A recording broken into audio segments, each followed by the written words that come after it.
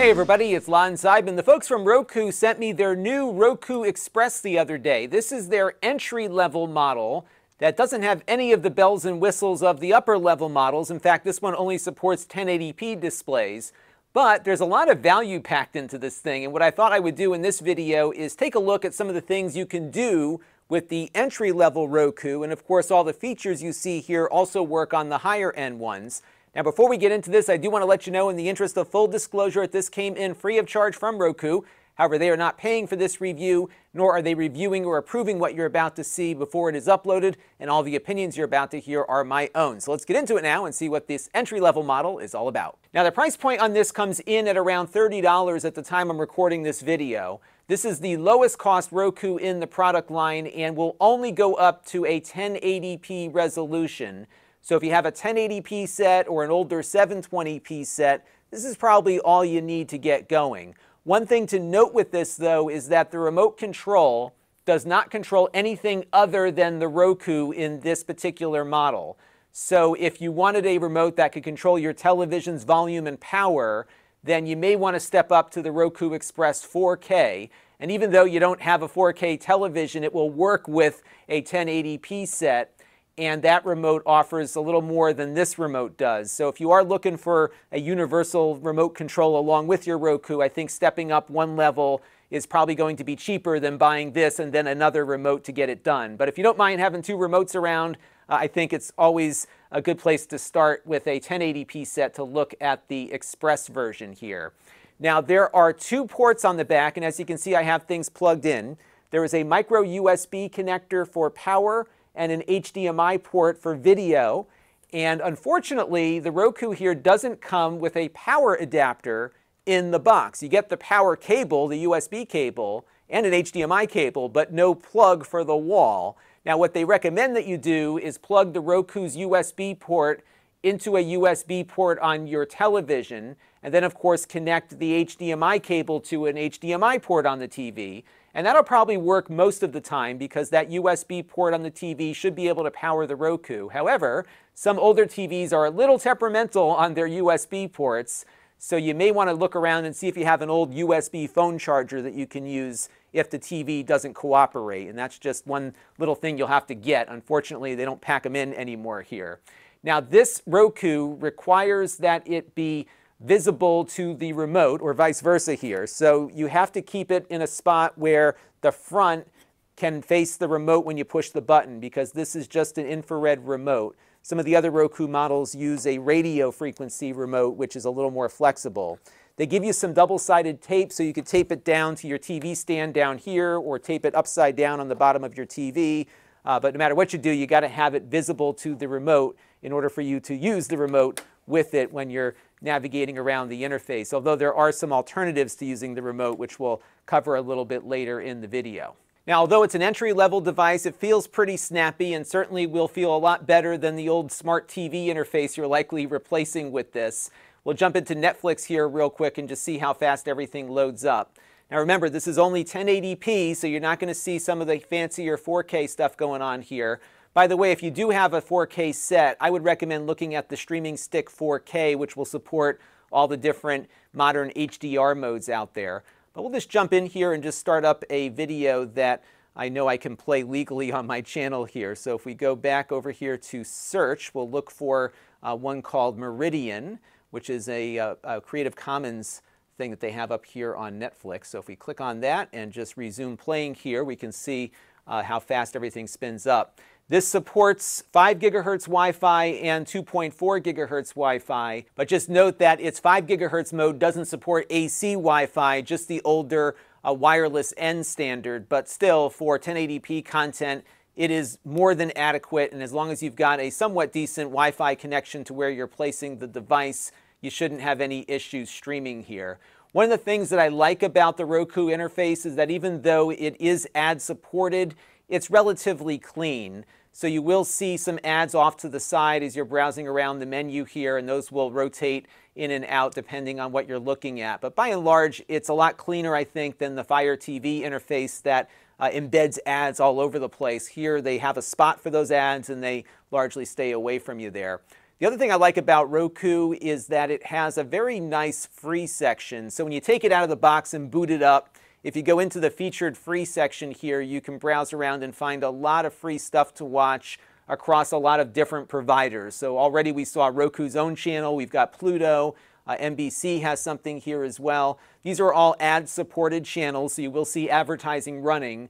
Uh, but there's so much stuff to watch here on these uh, Roku devices that you never really have to pay for anything to see some content. And there's actually a lot of good stuff on a lot of these channels to check out. So I would definitely spend some time poking around with that to see what you can find. And then, of course, you can install apps like Pluto and, and Plex, which is a sponsor here on the channel, who all offer their own versions of free content, both on demand and streaming. Now, Roku calls their apps channels, and you can find channels in the streaming channels section here. As far as I know at the moment, all of the major streaming providers are available over Roku.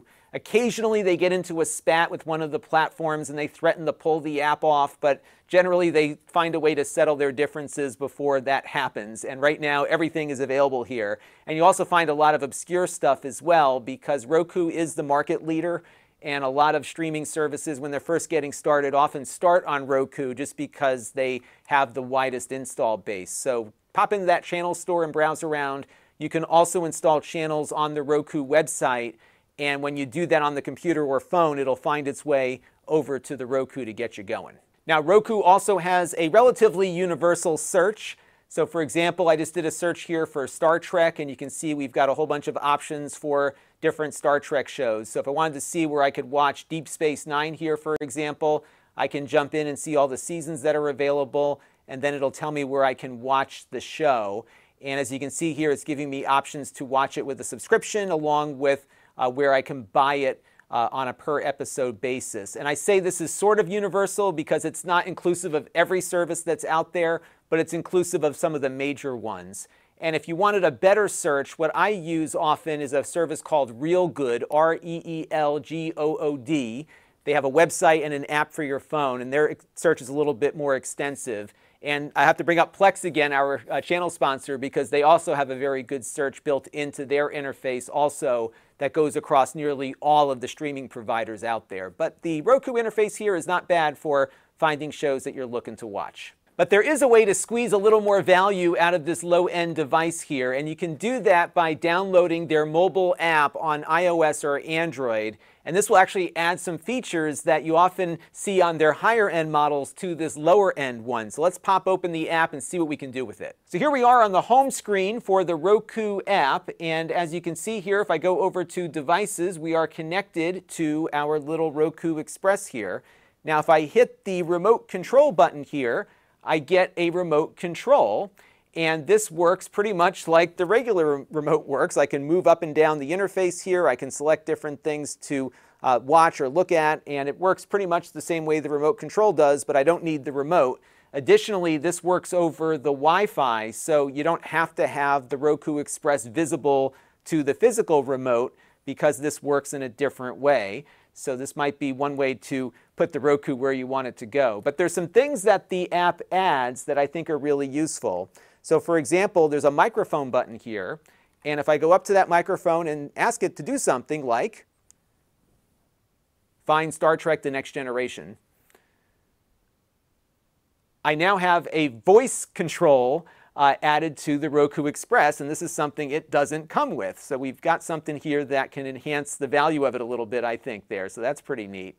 The other thing that I like about it is that it also adds a keyboard functionality. So if you are in a screen that requires you to do some text entry, rather than having to go punch it out on the remote, you can just type it out on the phone and it will automatically send the text over to the Roku again over the network. And this might be really helpful when you're trying to log into Disney Plus or something and you have a really crazy password. You can basically type it in with the phone, which is a lot easier, or just cut and paste from a password manager. And I've always found that to work a lot better. So it's really nice that this added value here, I think, works on uh, the Roku Express as it does in all of their other higher end models. Another cool thing you can do, which I think adds even more to the mix here, is when you hit the headphone button here.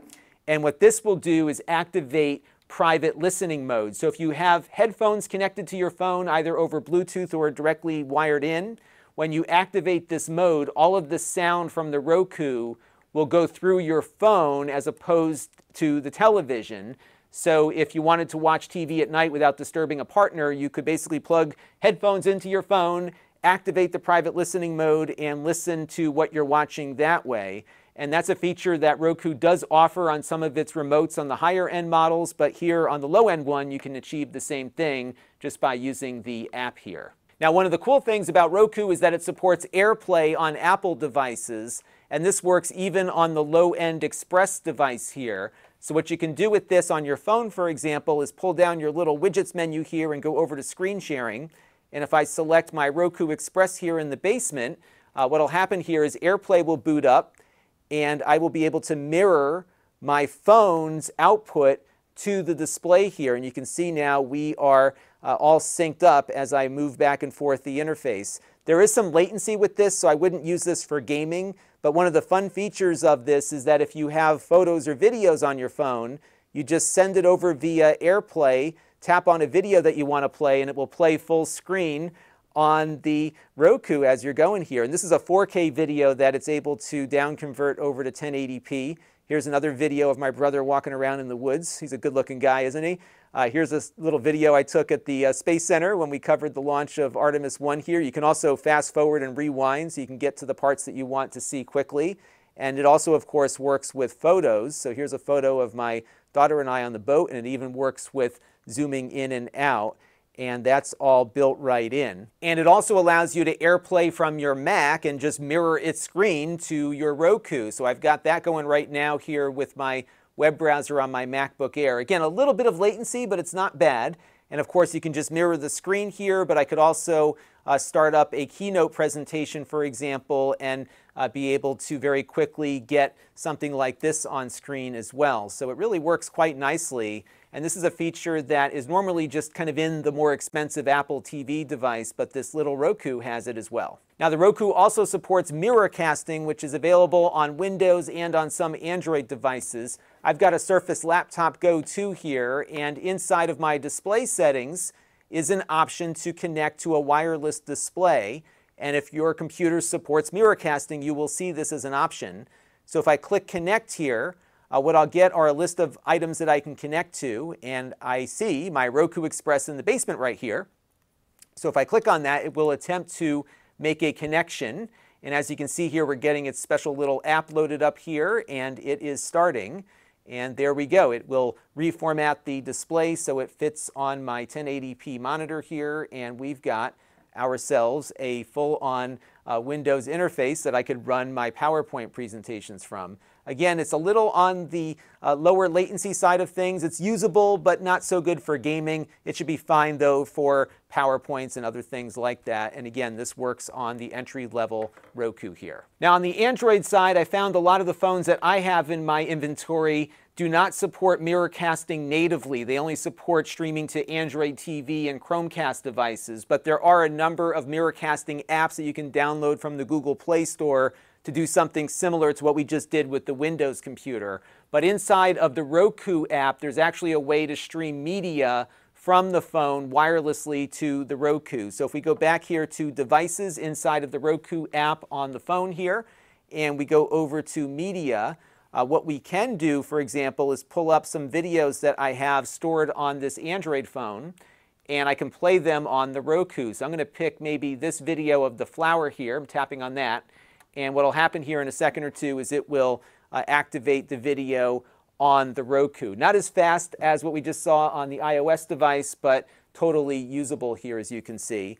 And although we don't have the granular media controllers, I can fast forward a little bit if I wanted to get further ahead in the video. I could also stop the video here and select a different one to uh, see something else. So it works pretty good. You can also do photos in this way as well, uh, just not as quick as what I was seeing with the Apple AirPlay feature, but the video eventually will play uh, through an Android phone here. Again, there is Miracast support on Android. However, not every phone supports it natively and might require a third-party app to get it done. Now, some apps on phones allow you to cast video over to the Roku. So, for example, I am inside of YouTube right now watching one of my videos, and as you can see, I'm about halfway through it right now.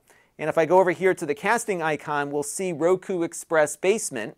And if I select that, what will happen here is that the Roku will boot up the YouTube app and start playing the video that we were watching on the phone. And most of the time, it will pick the video up from where you left off. So here we are right where I left off on the phone, and I can actually control the video now from the phone. So for example, this video I embedded chapter markers in. Again, this is in YouTube. And if I wanted to maybe jump back to uh, another section here, I can tap on the chapter for cooling, and it brings me right to that part of the video here just by controlling it via the phone. Unfortunately, not every streaming app that supports Chromecasting is going to work with the Roku. So for example, it does work fine here on YouTube, but Amazon Prime Video, for example, will only work with Android TV and Chromecast devices. But if you have a favorite app that you're watching a video on on your phone and you want to see if it'll cast over, hit that cast icon and see if the Roku pops up. So you can really squeeze a lot out of these little Roku devices, even at the entry level.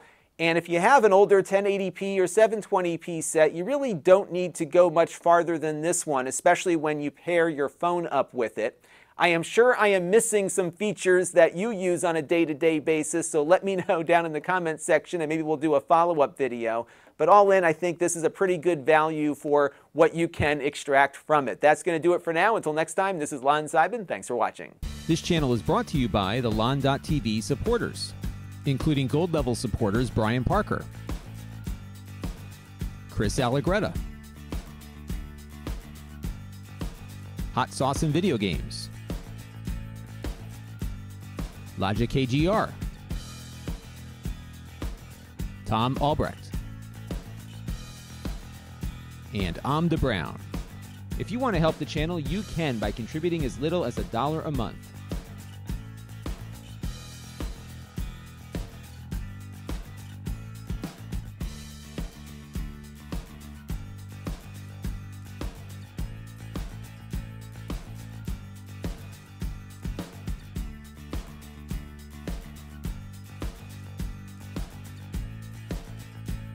Head over to lon.tv slash support to learn more.